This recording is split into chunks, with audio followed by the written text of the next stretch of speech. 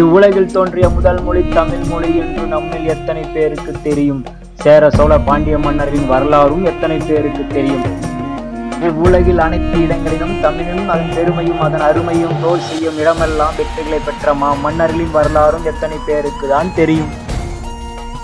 நாம் அறிந்த மன்னர்கள் சிலர் அறியாத மன்னர்கள் பலர் அம்மன்னர்களை பற்றிய ஒரு ஆய்வு.